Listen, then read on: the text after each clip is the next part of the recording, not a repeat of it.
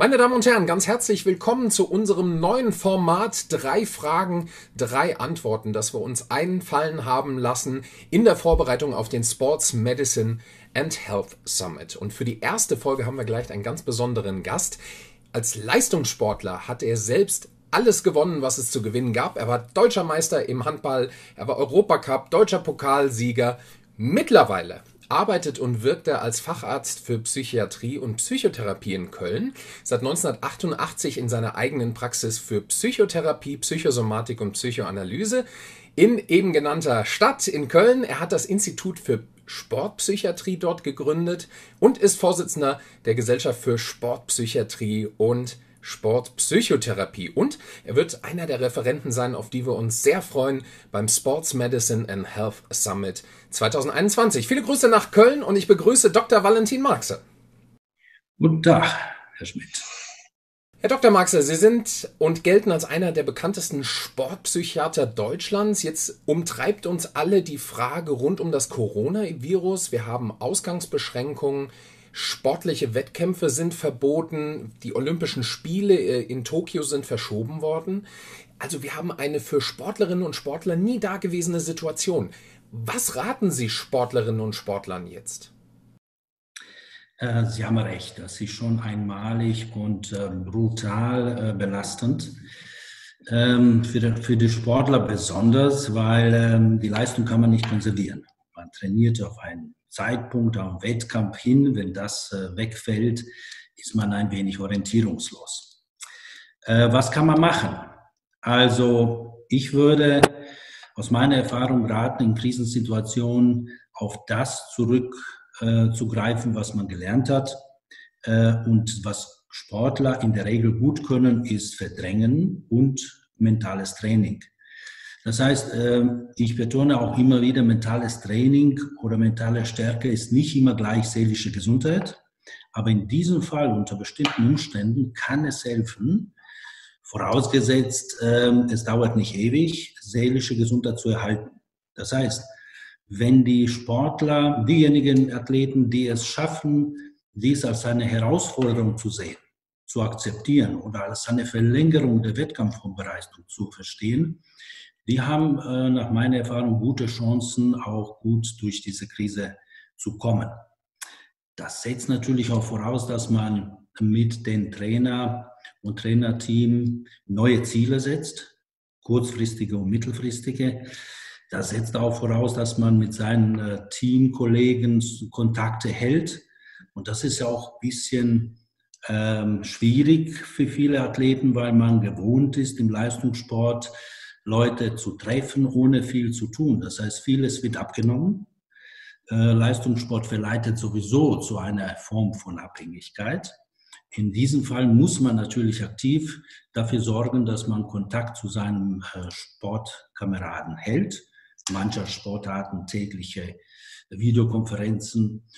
Ähm, und dann äh, kann das unter zwei Voraussetzungen aus meiner Erfahrung klappen. Einerseits dass die Maßnahmen irgendwie mal begrenzt sind, weil dann kommen wir in die Phase, wo mentale Stärke tatsächlich an ihre Grenzen stößt, wo sportpsychiatrische Maßnahmen zur Erhaltung der seelischen Gesundheit und Themen der Gesamtpersönlichkeit mehr im Vordergrund stehen. Und die zweite Voraussetzung ist, ähm, äh, dass ähm, wir auch Persönlichkeit der Sportler in ihrer Individualität beachten. Das heißt, wir äh, äh, sind immer wieder überrascht, dass die verschiedenen Athleten auf gleiche seelische Belastung unterschiedlich reagieren. Dabei vergessen wir, dass die Athleten ihre eigene Lebensgeschichte, unterschiedliche Lebenserfahrungen mitbringen und unterschiedliche Anfälligkeiten. Das heißt, stellen Sie sich vor, eine Athletin, die traumatische Kindheitserlebnisse hatte, und ihr die Außenwelt immer als bedrohlich erlebt, durch Leistungssport sich gut kompensieren konnte. Und jetzt äh, erfährt sie das, was sie jahrelang befürchtet hat, nämlich die Außenwelt ist gefährlich, tritt ein. Äh, das heißt, äh, die wird sicherlich größere Probleme haben. Dann müssen die alle Berufsgruppen enger zusammenarbeiten. Sportpsychologen, Sportmediziner, Sportpsychiater und Physiotherapeuten, eine wichtige Bezugsperson. Ganz kurz nachgehakt an, äh, zu Ihren Ausführungen. Ist das auch ein Appell an Sportlerinnen und Sportler, diese Situation nicht auf die leichte Schulter zu nehmen und zu sagen, ja, ich merke intrinsisch in mir, ich rutsche mental vielleicht etwas ab, ich kann mit dem Sport nicht kompensieren, ich suche mir jetzt gerade Hilfe durch einen Sportpsychiater? Auf jeden Fall. Ich würde zunächst mal versuchen, die Zeit zu nutzen, sehr sensibel und sehr selbstkritisch zu sich äh, zu schauen, äh, was kann ich machen, um meine Leistungen zu stabilisieren, neue Ziele zu finden und mich neu zu orientieren, aber auch, wie geht es mir emotional, seelisch, mental und wen kann ich da ansprechen. Wer sind meine Bezugspersonen im Leistungssport? Das sind meistens Sportmediziner, Sportpsychologen, aber aus meiner eigenen sportlichen äh, Vergangenheit weiß ich auch Physiotherapeuten. Das heißt, äh, die wissen, die haben mit den Athleten äh, sehr viel zu tun. Die wissen um die Befindlichkeiten und so. Die Athleten sind wirklich jetzt gefragt, mehr Verantwortung als sonst für ihre eigene seelische Gesundheit zu übernehmen und die Berufsgruppen ansprechen und dann eben äh, Sportpsychiater und Therapeuten zu suchen, die es mittlerweile auch gut vernetzt gibt. Jetzt gibt es auch wieder ein Heraus aus diesen Zeiten des Coronavirus. Die Sportlerinnen und Sportler dürfen jetzt partiell auch wieder ihr Training aufnehmen. Befürchten Sie, dass in der Folgezeit das Phänomen des Übertrainings und die damit eventuellen Risiken in eine Depression zu rutschen größer werden? Ähm, ja und nein. Also bei manchen Sportlern bestimmt, bei anderen wieder nicht. Ähm, Übertrainingssyndrom ist uns seit Jahrzehnten leider noch immer nicht befriedigend gelöst bekannt.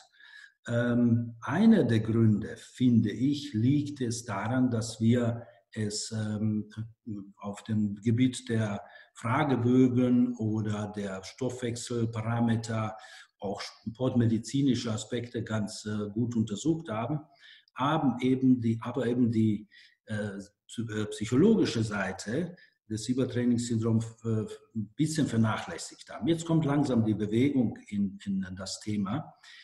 Ich betrachte das Übertrainingssyndrom als eine sportspezifische, auch seelische Erkrankung, nicht nur körperliche. Das, ähm, warum? Weil gegen Ende des äh, ähm, Übergangstraining-Syndrom äh, haben wir mit einer Depression zu tun, die teilweise oft behandlungsbedürftig ist. Ob wir sie Erschöpfungsdepression nennen oder Burnout, das spielt keine Rolle. Im Grunde genommen handelt es sich um eine Depression. Aber wir haben schon am Anfang auch eine sozusagen ähm, seelische Komponente, nämlich warum ein Athlet seine körperlichen Grenzen, die er überschreitet, und wir als Athleten trainieren immer an der, an der Grenze zwischen Leistungsoptimierung und Überforderung. Warum eine, ein Athlet diese Grenze gar nicht erkennt oder, wenn er sie erkennt, mehr übertreibt und über, äh, überschreitet als ein anderer, das hängt wiederum von seiner äh, sehr frühen kindlichen Erfahrungen, von seiner Persönlichkeit, von Anteilen der Persönlichkeit, äh, die wir bislang nicht so sehr auf dem Schirm gehabt haben. Stellen Sie sich mal vor, Jemand hat mehr masochistische Anteile in der Persönlichkeit. Die haben wir alle, aber mehr oder weniger. Der wird sicherlich dazu neigen, in Zeiten der solche Ausnahmezustände, wo das Training nicht von Trainingswissenschaftler oder Trainer so strukturiert ist, eher mehr zu tun und mehr in Gefahr zu kommen, Übertraining oder Depression zu bekommen. Andere vielleicht weniger. Es wird momentan sehr, sehr viel darüber gesprochen, dass soziale Isolation in der Kombination mit Bewegungsmangel zu einer höheren Depressionsrate führen kann. Ähm, es gibt diverse Reviews, es gibt diverse meta-analytische Studien, die nahelegen, dass Bewegungsmangel tatsächlich ein Risikofaktor für Depressionen sei. Da sei äh, Philipp Schuch und Kollegen 2017 zum Beispiel angeführt. Sehen Sie zurzeit demnach ein höheres Risiko für die Allgemeinbevölkerung? Und wenn ja, wie können wir uns vor psychischen Folgen schützen?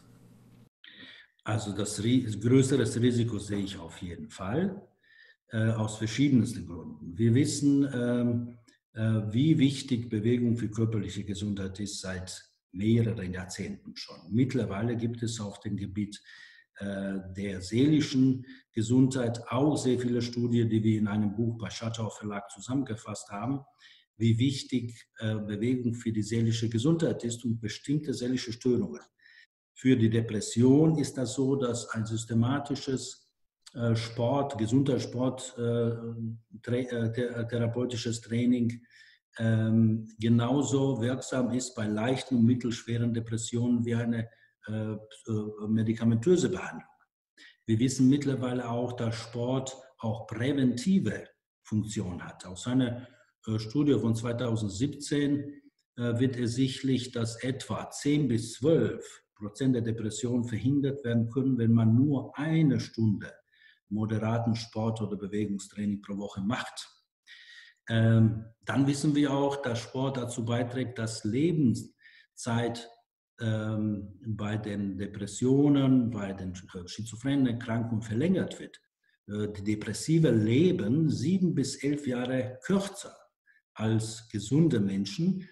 Warum? Nicht weil wegen der Selbstmordgefährdung, sondern weil sie einfach sich weniger Bewegung, keinen Antrieb haben, Stoffwechselerkrankungen und Herz-Kreislauf-Erkrankungen äh, entwickeln und auch früher sterben.